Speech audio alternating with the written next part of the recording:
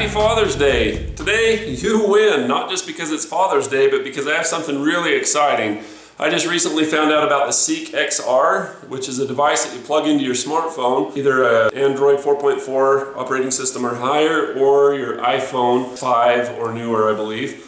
And basically what this is, is it's a really inexpensive way to be able to see the unseen, as they say. And whether you got what you wanted for Father's Day or not, doesn't matter. If you got what you want, lucky you. If you didn't get what you want, lucky you. There's a link in the description for this little guy. Now there's a lot of gadgets and gadgets and things out there. Everybody's thinking of Gidget from the 1950s show. Uh, but there's a lot of things out there that you unbox, you use for a little bit, and then you set aside. This is probably not going to be one of those things. This is a really useful tool, and that's why I'm going to do a tool review on it. As many of you are here because you subscribe to my auto repair videos, um, you know that I'm going to relate this to the automotive field. Uh, but this relates to many, many other fields. Uh, this is really handy for if you do insulation. I mean, you can't do your job without something like this these days and know that you did it well. There's no way to really check on that outside of something like this. And boy, is it effective. Um, if you're a plumber, you can see where the leaks, you know, if there's a leak in the wall and there's cold water dripping down, hot water dripping down, you'll be able to see and quickly track where it came from, know where to cut the hole in the sheetrock, that sort of thing. If you like to do things in the outdoors and you want to check on wildlife, uh, it's great. Um, for security purposes, you hear something in the backyard, it's pitch black, you can't see anything perfect for that. Um, if you're hunting and you want to see where the animals are moving or where they're going at night and it's dark and you can't see, perfect for that. Um, if you do electronics or any kind of soldering, this is amazing for doing electronics to see what gets hot and what doesn't. If you have any kind of power strips in your home, you can use this to see what's getting hot, what's a power vampire and costing you money and not. You can save money on your insulation, heating, and power costs with this. Uh, you can save your house from burning down with this. I know that sounds like a far stretch, like a fear tactic. I hate fear tactics. But literally, this can save your house from burning down if you use it properly. Fire departments use these all the time. If somebody calls to the fire department because they smell something burning in the home, what's the first thing they grab besides something to put a fire out, an extinguisher or a hose or something? They grab a thermal camera. The thermal camera that they're using is about $5,000. This is not $5,000. This is the fancy pants, nice, upgraded, more expensive of the two available, and it's only $300. The reason why is that your phone, which collectively we've made inexpensive, if they were rare like a thermal camera, these phones would probably be about two or three grand or five grand or whatever. They have such processing power, but because they're produced in bulk, they're able to do them cheaper. And this is gonna do a lot of the grunt work for your thermal imaging. So you marry these two together and you have something that's just amazing, match made in heaven. I have in uh, my possession a Samsung 5S, and this thing's great because you can get two days worth of battery out of this thing. Now this is great over some of the other options that have been available recently because it's not because it's not a phone case at and then you have to charge the battery on your phone and then you have to separately charge the battery on the FLIR 1. It does come with a case and it's itty bitty teeny tiny. You can see it fits in the palm of your hand but it's a very small little thing where you can leave your existing phone case on and it's a universal uh, type adapter. Now if you have an iPhone, you're going to recognize that this is going to be the iPhone one. They make one for the iPhone. I believe the iPhone 5 and the iPhone 6 will work. Any Android phone operating system 4.4 or higher I believe works. Check to see if it's going to work for you. It doesn't work on every smartphone because like I say smartphones have finally come along to where they can do the heavy lifting to make a product like this work. So I'm going to show you a little uh, bit of the footage that I've taken with it and show you a little bit of the ins and outs that I've discovered. Enjoy. That's a hot car. No, seriously, that is a hot car. Not fun. You can see that the brakes are the hottest part just looking at it. Look at those back brakes. So it says the front brakes are about 170 degrees, right in around there. Of course, accuracy is going to change with how close you are. But what a fun, what a fun tool and what an inexpensive price. It's so functional for, you know, something that's so small and so easy to use. You plug it into your phone and go. Of course, there's a lot of different color palettes and things that you can do. Uh, you can turn the screen off so that it doesn't scroll to the regular screen like that. The zoom is really close, and I don't remember it being that close when I first got it. I think I've messed up something in the settings to zoom it in like that. But as I said, you can change the color palette. You can pick, oh, this is actually pictures that I've taken. So there's a gallery, obviously you can capture, you just saw that. Uh, you can get into here and you can go to your color palette and you can choose whatever you like whatever's appealing or whatever seems to show the best. The one I started with obviously is the one that I like the best, but there's the night vision mode, that's like the reverse. There is like that, you can rotate your screen. We've got a help us improve thing, terms and policies, image preferences. Um, you can get image smoothing or non-image smoothing. You can also turn the dial and focus the image. See, that's a really focused, sharp image that you see there. Um, you can do an aspect ratio of 4.3, like a little square, you can do, do the 16.9. There's just lots of cool stuff that you can do with this. Uh, watermarks, you can turn off the Seek logo at the bottom or turn it back on. There, now you can see it. You put the date and time on it. You can put the location on it. Temperature unit, Celsius, Kelvin.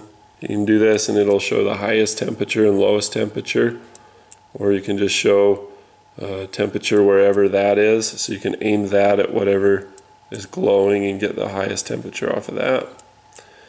Or you can show a range and set a threshold. Say you only want to see things that are above 110 degrees you can set that.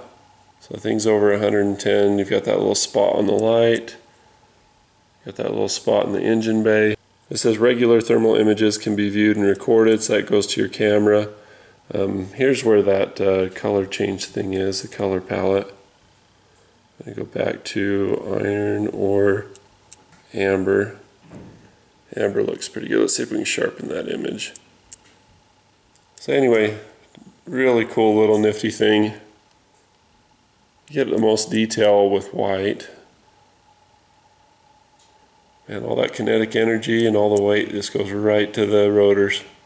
Say you're doing something with a green board and something you want to see if it's getting hot, where it's getting hot, or you just did a project, you get it set back up and you want to watch it and see what's going on on that circuit board. It is amazing for that. Uh, but you already got your soldering iron out and I found that if you use your soldering iron, you can actually point to things with it. This green board's actually toast, but let's heat something up here. So we're going to heat up the solder. You can actually watch and see the heat dispersion from your soldering iron. So there's that. And then you introduce the soldering iron and you can see where you're pointing to. So I'm not touching the, the board or the device or whatever, but I can still pinpoint and see what it is. If you're a mechanic, you know, obviously if I do a lot of soldering as a mechanic, that's really handy. But also for braking, if you think that your brakes are dragging, you can look at the wheel and you can see if one side's hotter than the other side just by looking at it. Uh, you can see the color gradient, but you can also do the temperature thing. I gotta be quiet and quick because it's late. But you can see there's a house right here and you don't see what's there. But when you put this thing up there, now you can see the house pretty clearly. But furthermore, can see the horse. There's two of them there. There's one that's standing up and one that's laying down. What I'll do is I'll wait till tomorrow morning and I'll basically uh, show how far away it is with the laser rangefinder. But this thing is just freaking amazing. You can tell the difference between the concrete in the house and the rooftops. I mean, you can even make out the clouds. It's just insane. Uh, this XR is just very impressive. To get a similar result, you'd spend over a thousand dollars, and here you get this little thing on your camera. And uh, like I say, you can trim this back, and you can see the, the lights in the houses and stuff. But talk about being able to see where you couldn't see before, and with enough detail to where you can tell that that's a horse and that once it's facing to the left for crying out loud, you put this down and you can't see anything. if I were to take my high power flashlight and shine it out there, you might be able to see a little bit, but I mean,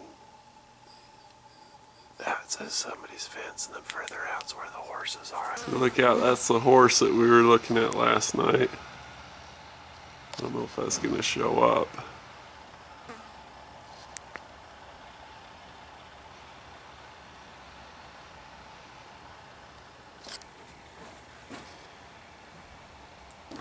Can't really see it through this, but it's 140 yards. That's pretty good. So I was cruising around on the golf cart and I found a couple of little heat signatures on some farmland.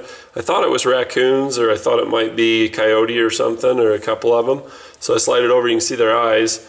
And then I slide it over and then use a flashlight and just kind of verify what it was. It turns out it was just a couple of goats. They're in their pen there.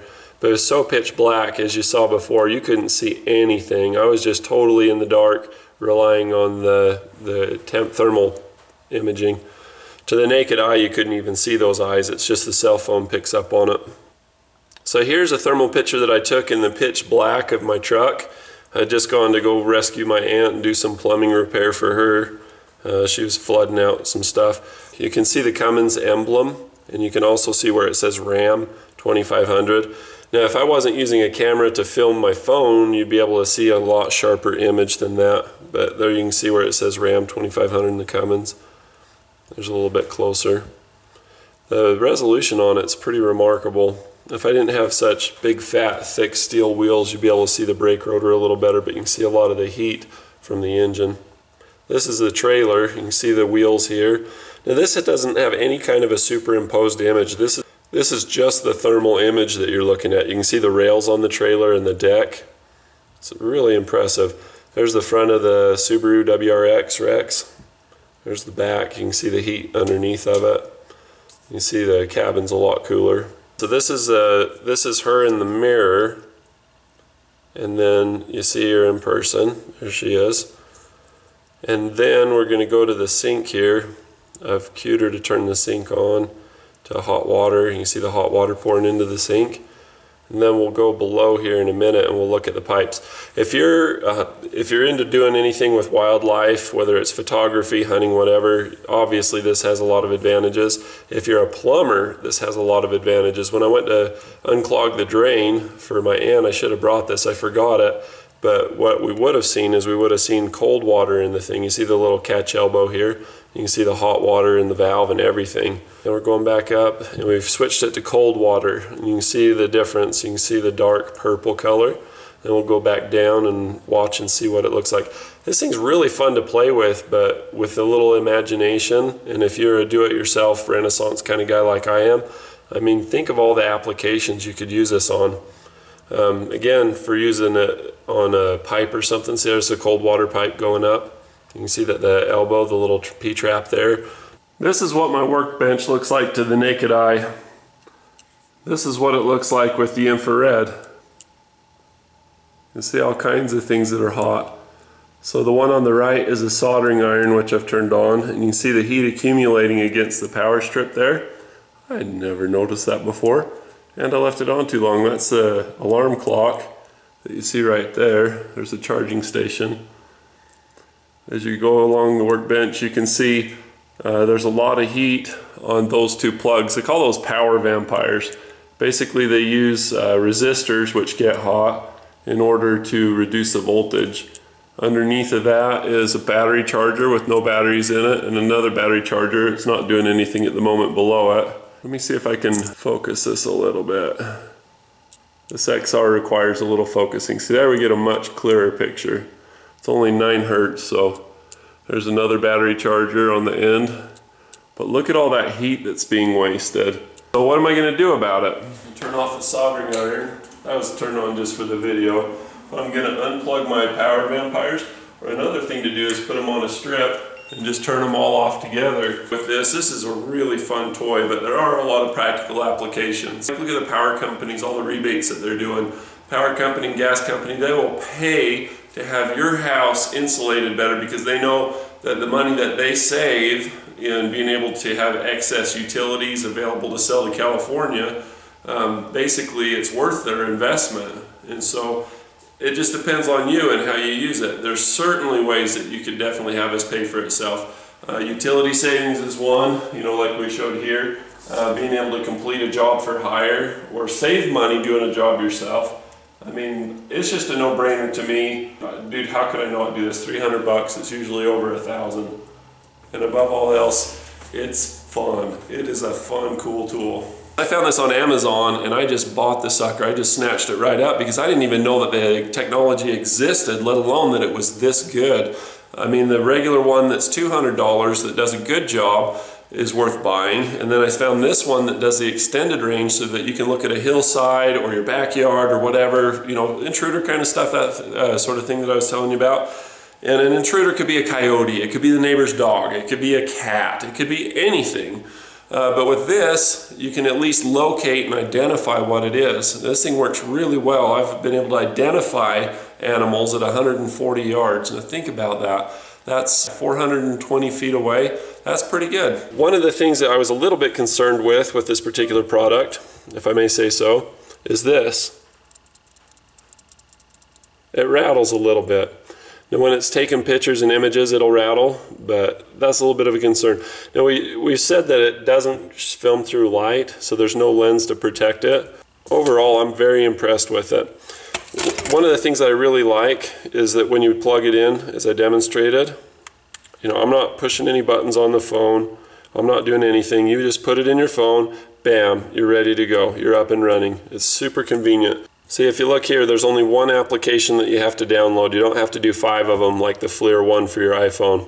It's super convenient. Everything about it is just super easy to use. If you want to go to your gallery, bam, it's right there in the corner. You can go to your gallery. You can look through all the different images that you want. Uh, another thing that you can is go to a macro view like this. Now, I haven't figured out exactly how to import these very well. I wanted to get this up in time for Father's Day. I know that sometimes Father's Day is a complete dud for me, and I wind up buying my own Father's Day present. and if, if your Father's Day's been a dud, this is perfect for you. You know, you have my permission, you go ahead and get it.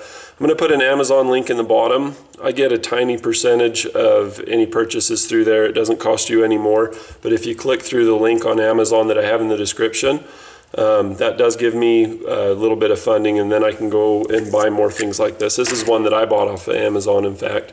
So I hope you enjoyed the video and uh, hopefully this is a solution to your problems. Uh, but basically, it, as creative as you are, like if you're a plumber, you'll be able to find pipes that are blocked. If you're an electrician, you'll be able to find circuits that are hot. If you're a mechanic, you'll be able to use this when you're doing soldering. You'll be able to use it. Uh, anybody who's a homeowner can check their insulation and save money on their bills. This one, the extended range one, is $300. The close range one, which is more equivalent to about everything else, FLIR often says you want to be within arm's length of whatever you're scanning. Do this thing does it from way out, but there is one that's a close range one, and that one's $200. I'll put a link for that in the description too. Um, if you were to go out and buy a comparable like an i4 or something, a FLIR gun, they're going currently, I looked on Amazon and Google shopping, and they're going for like 700 bucks. Don't have the image overlay. When you're looking at your images like this, I mean, that's what you get. There's no extra tracing or drawing or anything. But the advantage is you don't need it. I mean, the basically the resolution is so stinking high and so stinking far out that you can see what you're looking at regardless. So that's great. There's no batteries that you have to charge for this. Um, it comes with a nice compact case. Um, there's no need to remove the case of your phone currently to hook this up. I mean, I have to open that little door thing, that little port. You don't have to calibrate it. Um, you don't have to do any kind of camera alignment. I would love to have to do some camera alignment on this, by the way. Um, it does require a good phone and battery. I don't know what the deal is with exporting this, and I think that has more to do with my phone than it has in my the user of the phone than it does this.